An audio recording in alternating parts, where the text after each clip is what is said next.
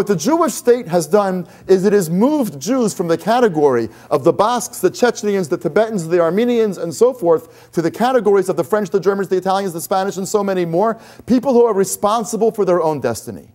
That's what the Jewish state has done. The pride that thousands of Jewish people feel when the buses disengorge them at the steps of Capitol Hill and they walk up each spring by the many thousands to speak to their congressmen and to demand that their congressmen hear them out at least is a product of 1967.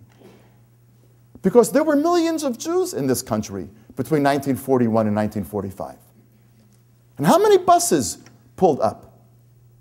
How many days was Capitol Hill deluged with Jews saying to their congressmen, bomb the tracks? One bomb and the train can't move anymore. Or open up the shores because the Statue of Liberty ought to stand for something. How is it possible that the Statue of Liberty is at the mouth of New York Harbor and boatloads of Jews with nowhere on the planet to go get turned away? But the shores were closed. And the shores of Canada were closed. And the shores of Palestine back then were closed. And Jews did not climb the steps of Capitol Hill to demand something different because we were Basques. We were Tibetans. We were Chechens. We were Armenians.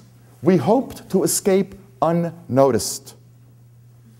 And Israel changed all of that. What Israel's enemies understand, and more importantly, what the enemies of the Jewish people understand, is that you don't have to make train tracks anymore to destroy the Jewish people. And you don't need bullets and bombs to destroy the Jewish state. It's all just dominoes.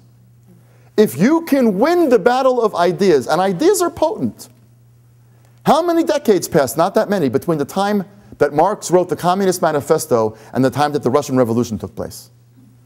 How many decades passed between the time that Theodore Herzl wrote Der Judenstaat and the United Nations voted to create a Jewish state? Or the British government actually issued the Balfour Declaration, which is even more important. Just a couple of decades there. Ideas are unbelievably potent, both when they are accepted and when they are repudiated. So they understand very well they are so smart.